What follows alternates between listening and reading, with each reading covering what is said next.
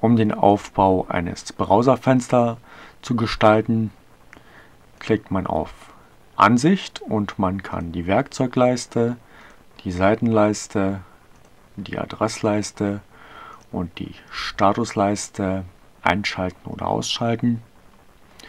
Das kann man auch im Konfigurationseditor. Man klickt auf Anwendungen, Systemwerkzeuge, Konfigurationseditor, macht einen Doppelklick auf Apps, einen Doppelklick auf Nautilus, einen Klick auf Präferences und dann gibt es vier Schlüssel. Alle fangen mit Start an.